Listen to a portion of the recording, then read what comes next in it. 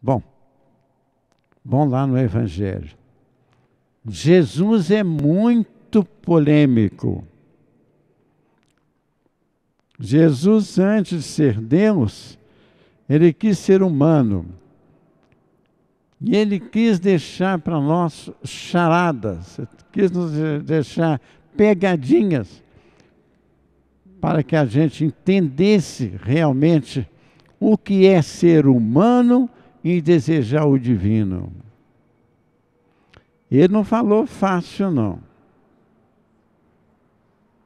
E ele também não era pouca coisa, não, porque naquela época, quem ensinava, quem falava na sinagoga, era uma pessoa de linhagem, eram pessoas estudadas. Jesus falava, no mínimo, duas línguas, porque ele ensinava na sinagoga. Então, quando aqueles judeus recebiam Jesus na sinagoga, devia juntar muita gente, porque Jesus era um homem polêmico, ele falava as coisas, ele falava o que sentia e o que, o que um Deus sente em favor de nós, sempre é coisa muito boa. Jesus estava no meio daquele povo lá, devia estar gente espremendo aquela, sinagoga que Jesus falava, devia ser talvez até menor do que essa igreja. Seria no máximo isso aqui. Não, não, não, eram sinagogas pequenas. E como Jesus polemizava tudo, as coisas, juntava de gente na sinagoga. Era gente saindo para o ladrão. No meio daquela confusão toda, chegaram perto de Jesus, falaram assim: a tua mãe e os teus irmãos estão lá fora te esperando, querendo falar com você. Bom, tem duas coisas aí muito importantes. Primeiro, eu duvido que Nossa Senhora ia mandar um recado desse para Jesus. A Maria Santíssima, aquela que ficava escondida nas coisas, aquela que ouvia, aquela que assimilava as coisas do Cristo. Por que, que ela ia interromper um discurso de Jesus para chamar ele lá fora? Né? Fica meio esquisito.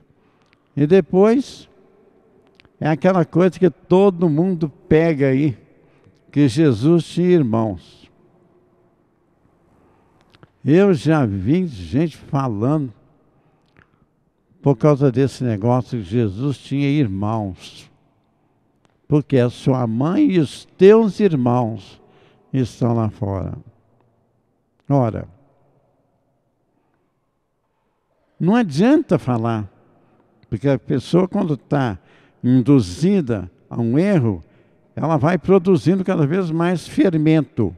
Por isso Jesus fala assim: cuidado com o fermento dos fariseus. Jesus não tinha irmão de sangue, não tinha. Ele tinha muitos parentes, ele tinha primos, ele tinha é, é, pessoas que viviam com Nossa Senhora, ele tinha parentesco com muita gente, porque Jesus não era uma pessoa única. Mas irmão, se ele tivesse realmente irmão, tem um, tem um porta-voz judeu que era do lado dos romanos, chamava Flávio Joséfo. Ele teria falado. Porque ele falou gatos e largatos de Jesus. Se não falou que ele não tinha irmão, porque não tinha irmão. Né? E Jesus saiu com uma que deixou a pessoa embaralhada. Quem é minha mãe? Quem são meus irmãos? Negócio embaralha a cabeça da pessoa. Porque ele não estava preocupado em acusar irmão nem mãe. O que ele quis dizer mãe e irmão, quer dizer, os parentescos mais próximos, nós devemos ter com a igreja, com a nossa salvação. Cada um de nós somos um projeto de Deus. O nosso Pai é o Pai que está no céu. Sem fazer pouco caso dos pais biológicos, mas o primeiro Pai é o que criou primeiro. É o Pai que está nos céus. Então Jesus foi claro: quem é minha mãe? Quer dizer, quem me dirige? Quem me ensina? Ele não estava falando de Nossa Senhora, que ele sabia que Nossa Senhora não estava lá fora chamando ele coisa nenhuma. E quem são meus irmãos? Meus irmãos são aquelas pessoas que fazem a vontade de Deus. Então, se nós procuramos fazer a vontade de Deus, que são mandamentos simples, sem problema nenhum, vocês podem ter certeza que vocês são pai, mãe e irmãos de Jesus. É isso que ele quer. Ele não quer nada diferente.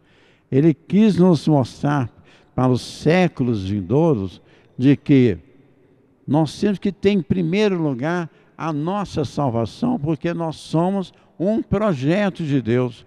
Nenhum é igual ao outro. E se Deus tem um projeto para nós, esse é meu pai, esse é meu irmão, esse é minha mãe. É aquele que faz a vontade de Deus. E ele estava ali fazendo a vontade de Deus. Não tem nada a saber se Jesus tinha irmãos, se Jesus, se Nossa Senhora estava chamando ele. Isso é coisas que não entra na, na, na, não entra na história divina do Evangelho. Não tem nada a ver. Jesus quis nos dar uma ideia de que a supremacia de Deus é muito maior do que uma mãe e do que um irmão. É isso que ele quis dizer. Muito simples. Muito simples. Para com essas bobagens de achar que Jesus é irmão. Mesmo que tivesse, o que nós temos com isso? Não temos nada com isso, não é? Mas, historicamente, está mais que provado que ele era filho único, não é? Pelo que aconteceu com Nossa Senhora depois, depois que ele foi crucificado, a gente sabe que ela, ela só tinha um filho, ela não tinha mais nenhum. Porque senão o outro filho iria tomar conta dela. Eu não sei se vocês sabem, mas depois da crucificação, Nossa Senhora ficou jogada na rua. Ela não tinha direito nem de entrar na casa dela, que era confiscada pelo poder romano. Se ela tivesse um filho a mais, dois, três, quatro, eles iam tomar conta dela. Tá bom? Então fica esse recadinho de para com essas bobagens que Jesus tinha irmão, que não tinha não.